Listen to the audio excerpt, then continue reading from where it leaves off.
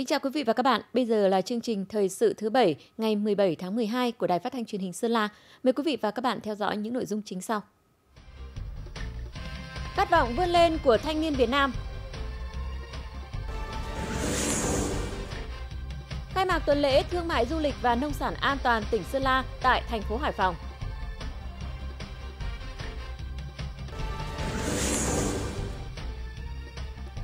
Kinh tế Việt Nam sẽ tiếp tục phải đối mặt với nhiều bất lợi.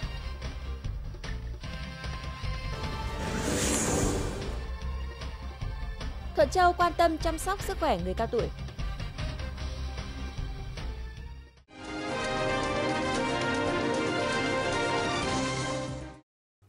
Bây giờ là nội dung chi tiết. Với khẩu hiệu khát vọng, tiên phong, đoàn kết, bản lĩnh, sáng tạo. Sau hai ngày rưỡi làm việc tích cực, sôi nổi, nghiêm túc và trách nhiệm, Đại hội đại biểu toàn quốc Đoàn Thanh niên Cộng sản Hồ Chí Minh lần thứ 12 đã thành công tốt đẹp và bế mạc. Đây là sự kiện chính trị quan trọng, ngày hội lớn của tuổi trẻ Việt Nam. Phó Thủ tướng Chính phủ Vũ Đức Đam đã dự phiên bế mạc đại hội. Đại hội đã tập trung đánh giá kết quả công tác đoàn và phong trào thanh thiếu nhi nhiệm kỳ 2017-2022, xây dựng mục tiêu nhiệm vụ giải pháp công tác đoàn và phong trào thanh thiếu nhi nhiệm kỳ 2022-2027. Trong nhiệm kỳ tới, Đoàn Thanh niên Cộng sản Hồ Chí Minh xác định xây dựng thế hệ thanh niên Việt Nam phát triển toàn diện, giàu lòng yêu nước, có ý chí tự cường, tự hào dân tộc, có lý tưởng cách mạng, hoài bão, khát vọng vươn lên, xây dựng đất nước phồn vinh, hạnh phúc. Với ba nhiệm vụ đột phá, một là tập trung xây dựng đội ngũ cán bộ đoàn có bản lĩnh chính trị, có đạo đức, trách nhiệm, năng lực, uy tín, tiên phong, gương mẫu, chú trọng rèn luyện, tu dưỡng, thực hành đạo đức cách mạng cho đội ngũ cán bộ đoàn, thực hiện tốt công tác tuyển dụng, quy hoạch, đào tạo, bồi dưỡng, luân chuyển cán bộ. Hai là triển khai sâu rộng chương trình thanh niên khởi nghiệp, nhất là khởi nghiệp sáng tạo. Trọng tâm là phát triển năng lực khởi nghiệp của thanh niên Việt Nam trong và ngoài nước, tham gia kiến tạo môi trường hỗ trợ thanh niên khởi nghiệp, phát triển đất nước trên cơ sở khoa học, công nghệ, đổi mới sáng tạo và chuyển đổi số. Ba là nâng cao năng lực số nhằm hỗ trợ thanh thiếu niên có nhận thức, thái độ đúng đắn về chuyển đổi số, trang bị kiến thức kỹ năng phục vụ giao tiếp xã hội, học tập, nghiên cứu, giải trí, làm việc, khởi nghiệp sáng tạo. Trong bối cảnh chuyển đổi số mạnh mẽ, góp phần nâng cao chất lượng nguồn nhân lực trẻ trong tương lai, tăng năng suất lao động và năng lực cạnh tranh quốc gia. Tại đại hội đã có 6 diễn đàn thảo luận góp ý văn kiện Đại hội đoàn toàn quốc lần thứ 12 với các chủ đề khát vọng cống hiến, lẽ sống thanh niên, thanh niên sung kích sáng tạo, dựng xây đất nước, tổ chức đoàn, người bạn đồng hành với thanh niên, xây dựng đội vững mạnh vì đàn em thân yêu, thanh niên Việt Nam vững bước hội nhập, xây dựng đoàn vững mạnh, xứng đáng là đội dự bị tin cậy của Đảng. Với tinh thần dân chủ, Đại hội đã bầu Ban chấp hành Trung ương đoàn khóa 12 gồm 144 đồng chí. Đồng chí Bùi Quang Huy, Ủy viên dự khuyết Ban chấp hành Trung ương Đảng, Bí thư thứ nhất Trung ương đoàn khóa 11, tái cử làm Bí thư thứ nhất Trung ương đoàn khóa 12.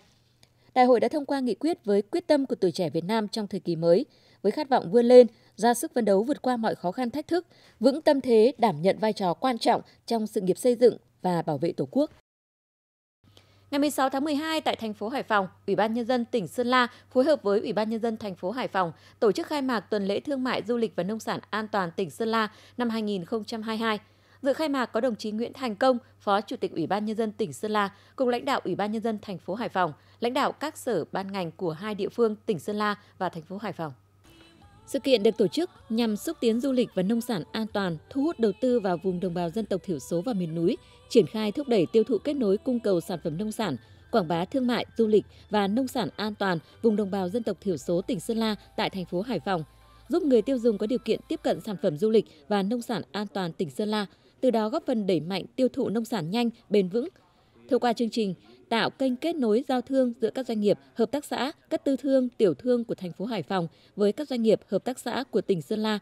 Từ đó mở rộng thị trường tiêu thụ, thực hiện có hiệu quả các chính sách của tỉnh đề ra, tạo ra chu trình khép kín, phân phối, sản xuất, tiêu dùng. Chương trình đã thu hút sự tham gia của 17 doanh nghiệp với 25 gian hàng, bao gồm các sản phẩm ô cốp, nông sản đạt tiêu chuẩn an toàn thực phẩm, Việt Gap, Global Gap, Organic, Phát biểu tại lễ khai mạc, đồng chí Nguyễn Thành Công, Phó Chủ tịch Ủy ban nhân dân tỉnh Sơn La cảm ơn sự hỗ trợ giúp đỡ của Ủy ban nhân dân thành phố Hải Phòng, các sở ngành, hệ thống các siêu thị, các doanh nghiệp của thành phố Hải Phòng đã tạo điều kiện để các sản phẩm nông sản của tỉnh Sơn La được kết nối tiêu thụ trong cả nước và xuất khẩu có hiệu quả. Tỉnh Sơn La cam kết tạo môi trường kinh doanh thuận tiện, hỗ trợ cao nhất cho các doanh nghiệp, nhất là các doanh nghiệp tại Hải Phòng tham gia đầu tư sản xuất, thu hoạch, sơ chế, chế biến, bảo quản, tiêu thụ, xuất khẩu nông sản và kinh doanh dịch vụ du lịch. Tuần lễ Thương mại Du lịch và Nông sản an toàn tỉnh Sơn La năm 2022 sẽ diễn ra trong 5 ngày từ 15 đến 19 tháng 12 tại sân siêu thị Co-op Mart Hải Phòng số 1 Lê Hồng Phong, Ngô Quyền, thành phố Hải Phòng. Dù đã có kết quả tốt trong năm 2022, song kinh tế Việt Nam sẽ phải đối mặt với những cơn gió ngược mạnh vào năm tới, từ cả bên trong và bên ngoài. Đây là đánh giá của đại diện Ngân hàng Thế giới khi cập nhật về tình hình kinh tế vĩ mô Việt Nam tháng 12 này. Việt Nam đã có kết quả kinh tế vĩ mô tốt, dự báo sẽ tăng trưởng 7,2% trong năm nay. Đây là một kết quả đáng chú ý, đặc biệt khi xét đến tình trạng suy thoái kinh tế ở các quốc gia khác trên thế giới. Tuy nhiên, ba lực cản mạnh đã và đang tác động đến kinh tế toàn cầu trong năm 2022 và có thể tác động tiêu cực đến tăng trưởng kinh tế toàn cầu trong năm 2023, gồm áp lực lạm phát, điều kiện tài chính xấu đi và suy thoái kinh tế ở các nền kinh tế lớn. Trong bối cảnh đó, nền kinh tế Việt Nam cũng sẽ phải đối mặt với những cơn gió ngược mạnh ở cả bên ngoài và bên trong. Rủi ro bên ngoài bao gồm áp lực lạm phát toàn cầu dai dẳng, tiếp tục thắt chặt tiền tệ và suy thoái kinh tế nghiêm trọng hơn dự kiến của các đối tác thương mại chính của Việt Nam, cũng như sự gián đoạn liên tục trong chuỗi giá trị toàn cầu. Trong nước lạm phát cao hơn và sự không chắc chắn liên quan đến rủi ro cao trong lĩnh vực tài chính có thể ảnh hưởng đến triển vọng tăng trưởng do triển vọng kinh tế toàn cầu ảm đạm và điều này sẽ ảnh hưởng đến kết quả kinh tế của Việt Nam. Theo Ngân hàng Thế giới, các cơ quan chức năng có thể xem xét hạn chế chi tiêu công, đồng thời ưu tiên chi cho phát triển nguồn nhân lực và đẩy nhanh tiến độ thực hiện các dự án đầu tư công đã được chọn có tác động dự kiến cao nhất đến tăng trưởng kinh tế. Đối với lĩnh vực tài chính, để giải quyết những thách thức về thanh khoản trong ngành ngân hàng, Ngân hàng Nhà nước có thể giúp khôi phục niềm tin thông qua cung cấp hỗ trợ thanh khoản khẩn cấp với các điều kiện là các ngân hàng phải có kế hoạch khôi phục khả năng thanh khoản thỏa đáng, không phụ thuộc thường xuyên vào nguồn vốn vay của Ngân hàng Nhà nước Ban chỉ đạo 969 huyện Mai Sơn đã tổ chức hội nghị đánh giá công tác lãnh đạo chỉ đạo công tác phòng chống và kiểm soát ma túy năm 2022. Năm 2022, huyện Mai Sơn tiếp tục duy trì và nâng cao hiệu quả hoạt động của các tổ chức, quần chúng, các lực lượng chức năng tham gia công tác phòng chống ma túy, triệt xóa các điểm đối tượng bán lẻ ma túy, các đường dây tội phạm ma túy trên địa bàn.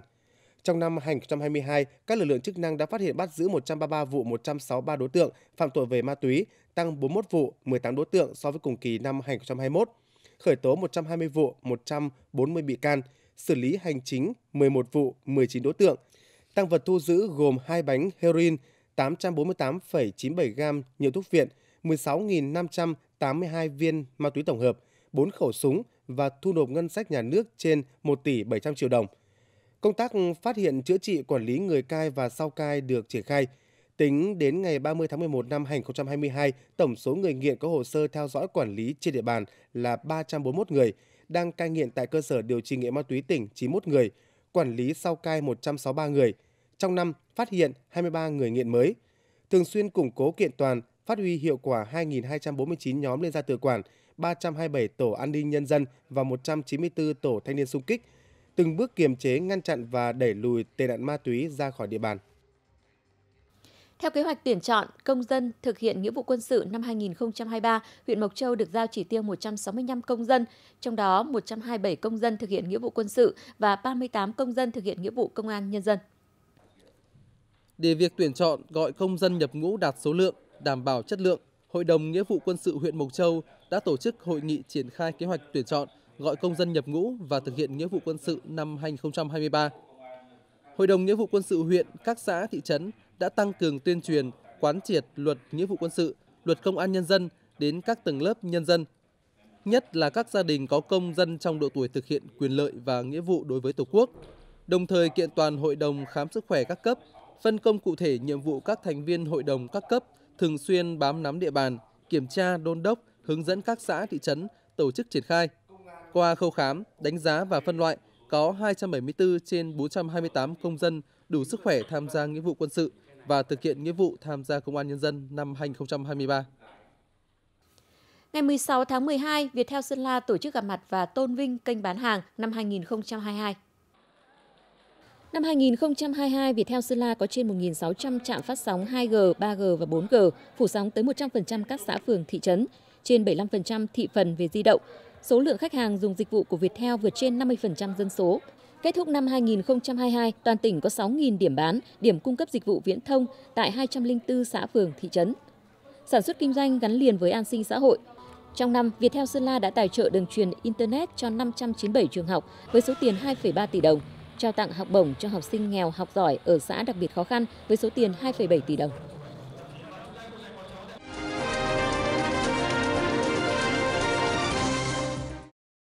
300 thẻ bảo hiểm y tế, 10 sổ bảo hiểm xã hội với tổng trị giá hơn 78 triệu đồng đã được Bảo hiểm xã hội Việt Nam trao tặng vào ngày 16 tháng 12 cho người dân và học sinh có hoàn cảnh khó khăn trên địa bàn huyện Mộc Châu thông qua chương trình tặng sổ bảo hiểm xã hội, thẻ bảo hiểm y tế cho người có hoàn cảnh khó khăn năm 2022 và mang Tết ấm đến với người nghèo Xuân Quý Mão 2023. Đối tượng được nhận thẻ bảo hiểm y tế và sổ bảo hiểm xã hội là đồng bào dân tộc thiểu số thuộc nhóm đối tượng không được ngân sách nhà nước đóng, hỗ trợ đóng bảo hiểm y tế, người chưa có thẻ bảo hiểm y tế thuộc diện mới thoát nghèo, người thuộc hộ cận nghèo, người có mức sống trung bình chưa tham gia bảo hiểm xã hội, bảo hiểm y tế và người có hoàn cảnh khó khăn, yếu thế khác của huyện Mộc Châu. Nguồn kinh phí mua sổ bảo hiểm xã hội và thẻ bảo hiểm y tế do cán bộ công chức viên chức ngành bảo hiểm xã hội và hệ thống các ngân hàng MB Bank, Vietcombank, Vietinbank, Agribank BIDV, Tổng công ty Bưu điện Việt Nam đóng góp. Hôm nay tôi rất là vui vì hôm nay tôi nhận được cái uh, sổ bảo hiểm xã hội. Thì uh, cái đấy là động lực để sau này phấn đấu. Gia đình con khó khăn, nghèo, khổ. Đến bây giờ bố mẹ con chưa mua được thẻ bảo hiểm cho con. Đến bây giờ con được nhận thẻ bảo hiểm con rất vui. Chương trình tặng sổ bảo hiểm xã hội, thẻ bảo hiểm y tế cho người có hoàn cảnh khó khăn là hoạt động nhằm lan tỏa chính sách an sinh của nhà nước, chung tay vì người nghèo, không để ai bị bỏ lại phía sau do Thủ tướng Chính phủ phát động huy động sâu rộng sự tham gia của công chức viên chức, người lao động trong toàn ngành bảo hiểm xã hội Việt Nam và cộng đồng xã hội đối với việc tặng sổ bảo hiểm xã hội, thẻ bảo hiểm y tế cho người có hoàn cảnh khó khăn để ngày càng có nhiều người lao động được tham gia bảo hiểm xã hội, nhiều người dân được chăm sóc sức khỏe bằng bảo hiểm y tế. Huyện Thuận Châu hiện có hơn 2.550 người khuyết tật trên 1.000 trẻ mồ côi. Trong năm 2022, các cấp các ngành và đoàn thể ở huyện luôn nỗ lực thực hiện các chính sách đối với người tàn tật và trẻ mồ côi trên địa bàn. Báo cáo tại hội nghị triển khai nhiệm vụ năm 2023 của Hội Bảo trợ người tàn tật và trẻ mồ côi huyện Thuận Châu đã đánh giá trong năm 2022, bằng nguồn quỹ trên 235 triệu đồng kêu gọi từ các cơ quan đơn vị, các nhà hảo tâm, các mạnh thường quân, Hội đã bảo trợ cho 223 lượt người tàn tật, trẻ mồ côi có hoàn cảnh đặc biệt khó khăn với số tiền trên 206 triệu đồng. Hỗ trợ phẫu thuật chỉnh hình, phẫu thuật tim và khám chữa bệnh truyền máu cho 3 đối tượng 5 triệu đồng. Trao tặng 22 xe đạp cho các đối tượng trị giá trên 70 triệu đồng. Trợ giúp, đỡ đầu cho 10 trẻ mồ côi cả cha lẫn mẹ.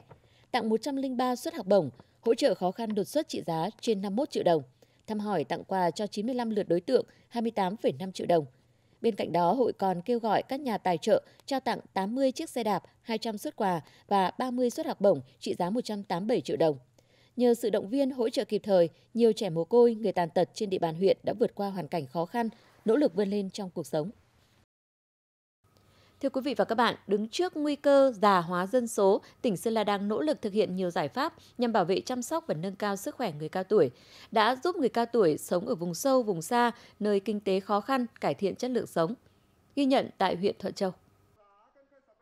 Là huyện vùng cao còn nhiều khó khăn do điều kiện kinh tế và thói quen cũng như tâm lý ngại kiểm tra sức khỏe định kỳ tại các cơ sở y tế, một bộ phận người cao tuổi tại các xã bản vùng sâu vùng xa, vùng cao còn hạn chế trong việc tiếp cận các dịch vụ chăm sóc sức khỏe. Chính vì vậy, những đợt thăm khám sức khỏe về cơ sở như thế này đã thường xuyên được tổ chức và mang lại niềm vui cho những người cao tuổi vùng sâu vùng xa. Bình thường chúng tôi không ốm đau thì cũng không xuống bệnh viện bao giờ. Hôm nay được các y bác sĩ đến khám bệnh và hướng dẫn cho người cao tuổi chúng tôi. Chúng tôi rất phấn khởi và sẽ làm theo những hướng dẫn của các y bác sĩ để được khỏe mạnh. Tại các điểm người cao tuổi được khám lâm sàng tập trung vào các bệnh liên quan đến người cao tuổi. Qua công tác khám tư vấn sẽ có kết luận đầy đủ về sức khỏe cho người cao tuổi, từ đó phân loại đánh giá tình trạng sức khỏe và lập hồ sơ quản lý theo dõi sức khỏe ban đầu cho người cao tuổi. Điều này cũng mang ý nghĩa đối với người cao tuổi sống ở vùng sâu vùng xa, vùng khó tiếp cận với các dịch vụ y tế. Được huyện quan tâm, các y bác sĩ đến khám bệnh, tư vấn sức khỏe và phát thuốc cho người cao tuổi chúng tôi. Tôi rất phấn khởi, tôi cảm ơn rất nhiều và cứ được như thế này thì chúng tôi rất vui. Để thực hiện tốt kế hoạch khám tư vấn sức khỏe và cấp thuốc cho người cao tuổi, Trung tâm Y tế huyện Thuận Châu đã chỉ đạo các trạm y tế các xã thị trấn phối hợp với bệnh viện đa khoa huyện chuẩn bị mọi điều kiện để tổ chức khám và tư vấn sức khỏe cho người cao tuổi, đảm bảo theo đúng đối tượng, chính xác và khách quan. Hàng năm trạm y tế chủ động đập kế hoạch để khám sức khỏe cho người cao tuổi, phối hợp với à, siêu hội trưởng các bản tổ chức điều tra giả soát lại đối tượng đủ 60 tuổi trở lên. Xong bắt đầu trạm tiến hành đập kế hoạch chi tiết cụ thể à, cơ sở vật chất cũng như đính thuốc ở dưới à, à, ủy ban nhân dân huyện về tổ chức phối hợp với bệnh viện La Khoa, trung tâm y tế huyện hàng năm thì tổ chức khám à, rồi là lập hồ sơ quản lý sức khỏe cho từng à, ờ, hội viên hội cao tuổi của xã Phổng Lăng mọi năm đều thực hiện à, đạt kết quả tương đối cao trên 90% số cụ đến khám à, được theo dõi sức khỏe định kỳ. Chăm sóc sức khỏe người cao tuổi là nhiệm vụ của toàn xã hội, thể hiện tính nhân văn của Đảng và Nhà nước. Bằng việc làm thiết thực, công tác chăm sóc sức khỏe cho người cao tuổi trên địa bàn huyện ngày càng được chú trọng, đặc biệt là những người cao tuổi ở vùng sâu vùng xa, vùng đặc biệt khó khăn và có hoàn cảnh khó khăn, neo đơn, không nơi nương tựa. Qua đó tạo điều kiện để người cao tuổi trên địa bàn huyện sống vui, sống khỏe, Ngày 16 tháng 12 tại huyện Thuận Châu và huyện Mường La, Bộ Chỉ huy quân sự tỉnh Sơn La phối hợp với cấp ủy chính quyền địa phương tổ chức bàn giao nhà tình nghĩa cho các gia đình có hoàn cảnh đặc biệt khó khăn về nhà ở. Sau hơn 2 tháng thi công, ngôi nhà có diện tích sử dụng 80 m2, kết cấu nhà cấp 4, móng đá, mái lợp tôn với tổng trị giá 255 triệu đồng đã hoàn thành. Trong đó, Ngân hàng Thương mại Cổ phần Quân đội hỗ trợ 80 triệu đồng, Đảng ủy Quân sự huyện Thuận Châu hỗ trợ 5 triệu đồng. Kinh phí xây dựng còn lại do gia đình, bạn bè và người thân bảo đảm bổ sung. Đây không chỉ là sự ủng hộ về vật chất mà còn có ý nghĩa về mặt tinh thần là động lực giúp tôi yên tâm công tác. Đây là món quà vô giá đối với gia đình tôi và tình cảm của đồng chí đồng đội mà tôi sẽ mãi mãi trân trọng và khắc ghi. Tại huyện Mường La, Bộ Chỉ huy quân sự tỉnh Sơn La cũng đã tổ chức lễ bàn giao nhà tình nghĩa cho gia đình Trung úy Lò Văn Mặn, hoàn cảnh gia đình khó khăn. Sau gần 2 tháng thi công, ngôi nhà được xây dựng theo kiểu cấp 4, móng đá lợp mái tôn, diện tích sử dụng 88 m2 đã hoàn thành và đưa vào sử dụng với tổng kinh phí xây dựng 250 triệu đồng, trong đó kinh phí hỗ trợ của Ngân hàng Thương mại Cổ phần Quân đội là 80 triệu đồng. Những ngôi nhà được hỗ trợ xây dựng đã thể hiện sự quan tâm, chăm lo của Đảng, Nhà nước và quân đội đối với gia đình quân nhân có hoàn cảnh đặc biệt khó khăn về nhà ở, đồng thời góp phần cùng địa phương thực hiện hiệu quả phong trào thi đua cả nước chung tay vì người nghèo, không để ai bị bỏ lại phía sau. Sau đây là tin không khí lạnh tăng cường và rét. Sáng nay, không khí lạnh đã ảnh hưởng đến tỉnh Sơn La. Ngày hôm nay, không khí lạnh sẽ tiếp tục ảnh hưởng đến các nơi trong tỉnh. Tỉnh Sơn La, trời chuyển rét đậm, rét hại diện rộng. Trong đợt không khí lạnh này, nhiệt độ thấp nhất phổ biến từ 7 đến 9 độ. Vùng núi cao như Mộc Châu, Vân Hồ, Tà Xùa từ 3 đến 5 độ, có nơi dưới 3 độ. Cảnh báo từ ngày 17 đến ngày 22 tháng 12 ở tỉnh Sơn La trời rét đậm, rét hại diện rộng. Vùng núi cao, Mộc Châu, Vân Hồ, Tà Xùa và một số nơi vùng trung bình, Mai Sơn, thành phố Sơn La có khả năng xảy ra băng giá, sương muối. Trời rét có khả năng tác động đến đối với con người, rét hại gây ảnh hưởng xấu đến đời sống và sinh hoạt con người, dễ mắc các bệnh liên quan đến đường hô hấp, đặc biệt là đối với người cao tuổi và trẻ em. Đối với cây trồng và vật nuôi, rét hại kéo dài làm ảnh hưởng đến vật nuôi bị chết do rét. Đối với các loại cây trồng, sương muối gây tình trạng héo úa, cháy xém, cây chậm phát triển. Chương trình thời sự hôm nay xin được kết thúc tại đây. Cảm ơn sự chú ý theo dõi của quý vị và các bạn. Xin kính chào tạm biệt và hẹn gặp lại.